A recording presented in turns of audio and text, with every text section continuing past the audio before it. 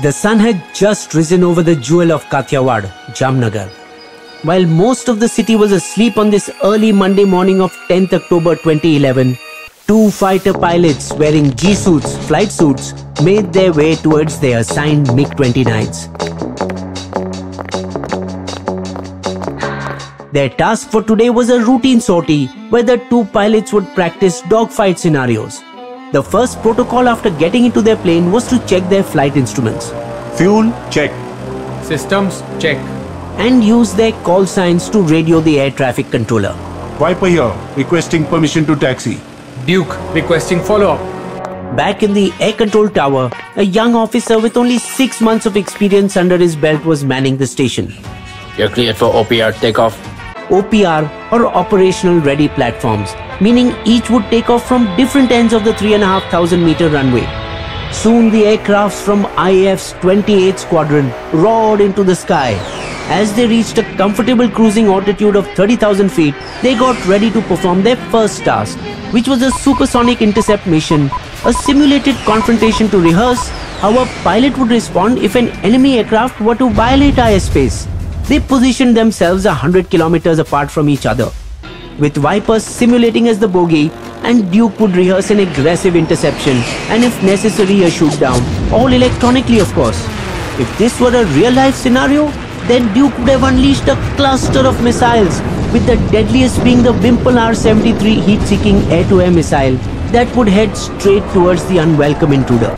That morning, both aircraft were fully loaded weighing 81.3 kilonewtons so as to mimic an actual simulation. But there would be no firing. This brutal air drill was conducted purely to hone flying reflexes and practice SOPs, standard operating procedures, in the event of a hostile air intrusion. The 28th Squadron of the Indian Air Force, operating a pack of 18 MiG-29s, is codenamed the first Supersonics for being the first squadron to be equipped with a fighter that could break the sound barrier, the MiG-21 in the late 1960s. And though the MiGs could easily throttle up over twice the speed of sound, the IAF kept their velocities in check over densely populated areas. As the loud boom that fighter jets produce when they break the sound barrier can shatter window panes on the ground and even caused panic among the population. Viper initiated the first maneuver for the drill by taking a 120 km outward turn from Jamnagar towards the mainland to simulate the intrusion. As he pulled up, the aircraft positioned head on with the sun, which flooded the cockpit with blinding light. The pilot then adjusted his oxygen mask and pulled down the tinted visor to protect his eyes in ready position for the maneuver. Suddenly his aircraft's HUD heads-up display, a pane of glass on the aircraft's dashboard, which superimposes instrument readings and mission data into the pilot's viewpoint, flickered and blanked out. A fraction of a second later, Viper spotted the cause for the blank HUD. It was a tiny spark that had the beginnings of a small fire. But it could also be that a classic case of hypoxia was messing with the pilot's mind. Lack of oxygen is known to lead to hallucinations. So at first Viper thought that someone had just lit a matchstick and offered him a cigarette. But no, while the fire looked like a matchstick flame about the size of an index finger, it was escalating quickly, ominously filling the cockpit with thick black smoke. The immediate danger was the 4000 liters of fuel in a series of overhead tanks in the fuselage and wings that could easily ignite if the fire spread. Viper tried to keep his voice as calm as possible and radioed the ATC. Viper reporting a fire in the cockpit. The stun controller wasn't sure if he had heard correctly. Viper, did you just say fire? Can you confirm it? I repeat, there's a fire in my cockpit. Is it an engine fire? No, I repeat, it's a cockpit fire. I'm turning urgently back towards base. Need guidance and permission to descend. Viper 08085, let's get you out of there, sir. Let's get you home. Flying 60 kilometers to his east and on the same radio frequency, Viper's wingman Duke heard the terse radio exchange.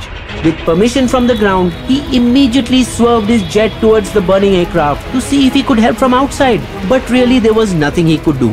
The first thing Viper did was check his oxygen supply. Luckily, he could breathe and the oxygen was stable. The good news meant that he was not hallucinating, but the bad news was that he was now positive that he had a good and proper fire burning. In under 60 seconds, not only had the pilot spotted the fire, but had started taking recovery actions.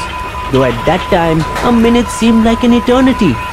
First, he tried to douse the spreading flames with his gloves, but the plan backfired as the strands of molten plastic got stuck onto his fire resistant gloves and he could feel his fingers burning. The odor of smoke, like that of burning plastic, was choking him.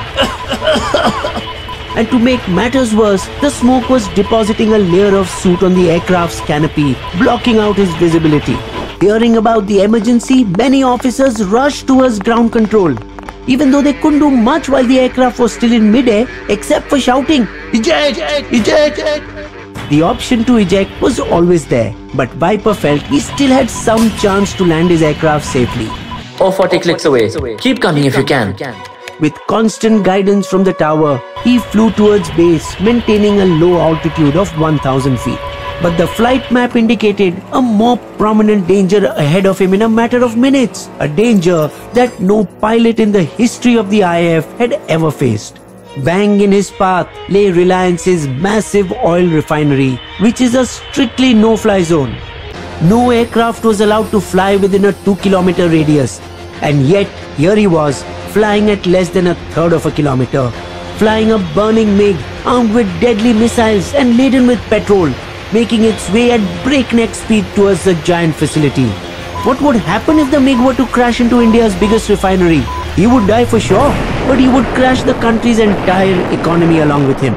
So, in a desperate bid to gain height, Viper dumped fuel to lighten the aircraft and tried to gain altitude. Viper's wingman, Duke, radioed the beleaguered pilot. Come on, Viper. You can't just crash here. Motabhai would be very angry with us. As the MiG gained altitude, Viper reduced speed to lessen its boom and went into a barrel roll with its belly up in order to gain height and avoid crashing into the refinery. But this also meant putting the balance of his burning aircraft in jeopardy. If he didn't handle the roll well, he would end up doing the very thing he wanted to avoid crash. But in a matter of just 15 seconds, the danger passed as the refinery was left behind and he corrected the aircraft. Viper could see the ATC tower now and expertly guided his burning aircraft with help from ground control and landed without incident. Coming out shaken but not stirred. Later, when the Air Force called the refinery to check, Was there any damage caused by the aircraft's boom? Nothing, other than heavy winds today. Viper's story is a real life incident of Wing Commander Ajit Bhaskar Vasane, a graduate of the 103rd course of the National Defense Academy, who went on to win a Shaurya Chakra the following year for safely landing this very flight during a supersonic practice intercept mission.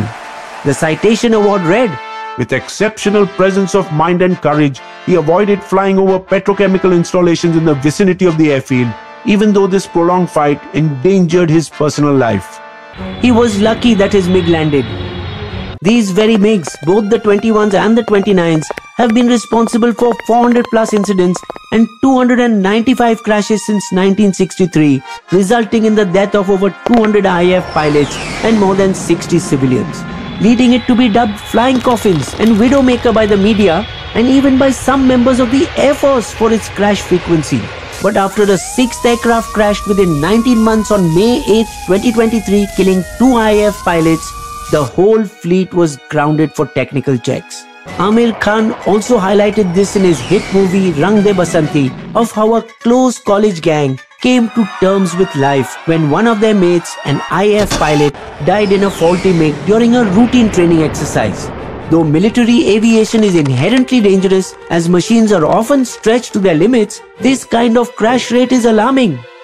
The 872 MiG-21s were India's first supersonic fighters bought from the then Soviet Union in 1963 as a counter to Pakistan's F-104s bought from the US. They served us well in the wars of 1965 and 1971 and were due to be phased out in the 1980s when newer models of the MiG were bought, the MiG-29s. These MiG-29s helped India immensely in the 1999 Kargil war because they could deploy medium to long-range BVR missiles, preventing Pakistani F-16s from providing support to its ground forces in Kargil. In the mid 1980s, HAL, Hindustan Aeronautics Limited, was entrusted with designing and producing India's new fleet of fighters. The Russian Sukhois, the Su 30 MKIs developed by them under license, has been a big success.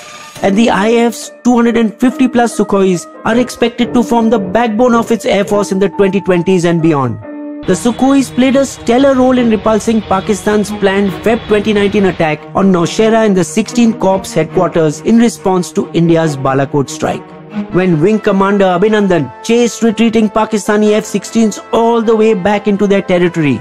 But HAL's failure to produce indigenous aircraft over the last few decades means the IAF is still flying planes made in the 1980s, including the MiG-21 Bisons, MiG-29s, Mirage 2000 and SEPECAT Jaguars which are continually being upgraded for combat readiness. For example, with a Zhuk M Plus Doppler electronically scanned array radar that can attack 10 targets and engage 4 at once. The partial glass cockpit is now HOTAS, hands-on throttle and stick capable with a French navigation system and new video recorders and map generators.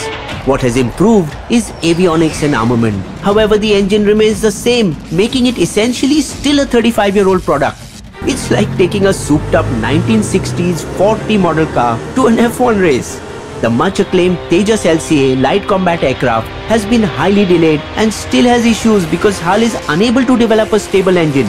Barring the 36 Rafales and 40 Tejas Mark 1 jets, there have been no fresh inductions or orders in the past few decades resulting in a depletion of fighter squadron strength to 32, far less than the 42 we would need in case of a two-front war against Pakistan and China simultaneously. Had the earlier order for 126 Rafale fighters signed during UPA-2 in 2011-12 been completed, India would be much better placed today. But politics derailed that and eventually only 36 Rafale jets, enough for two squadrons instead of seven came in, albeit at a slightly cheaper cost.